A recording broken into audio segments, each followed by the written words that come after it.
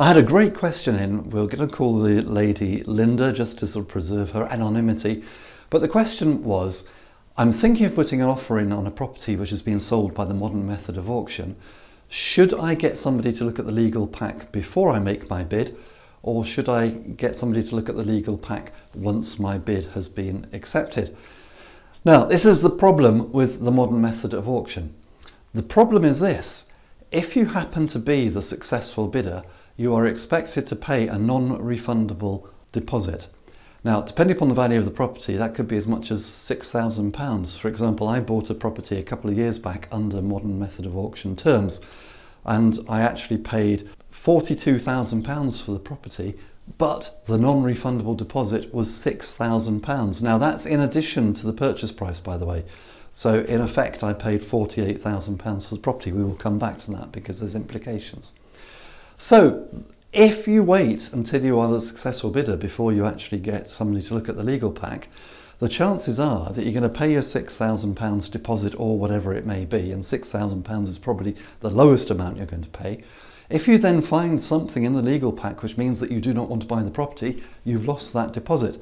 Unless you can show to the auctioneer that they shouldn't have accepted your bid or marketed the property or whatever, and that it's not your fault. But I would say that they would have a very strong case to argue that if you find something after your bid has been accepted and you haven't done your due diligence, then it is your fault. It'd be an interesting legal challenge. And I'm not a lawyer and I'm not quite sure who would win, but it's not something I'd want to take on because the only winners in that are going to be the lawyers and their fees. So, should you have the title deeds and the legal pack checked before you make your bid? Well, yes, but here's the next problem. That's going to cost money. I mean, that could be several hundred pounds to a solicitor to go through a fairly basic legal pack.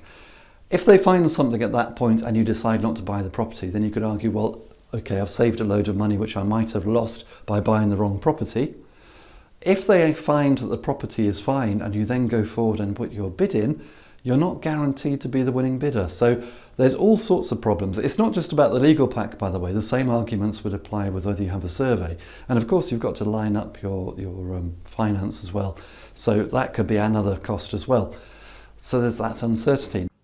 I hope you found this video useful and informative. And if you did, then please come over to my website, www.thepropertyteacher.co.uk where you'll find loads more great property related resources including free special reports to download and my best-selling series of ebooks which includes the Successful Property Renovators Workshop, 63 common defects in investment property and how to spot them.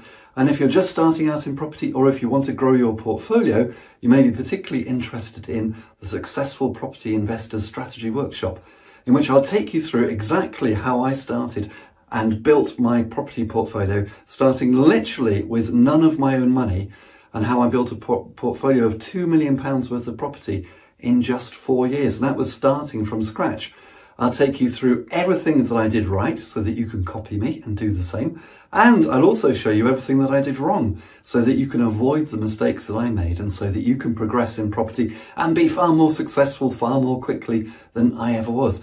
And this is based upon my own real life experience. And it took me about four years to actually work out how to do property investing properly.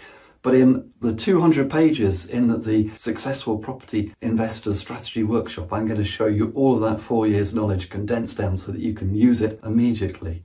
And until next time, here's to successful property investing.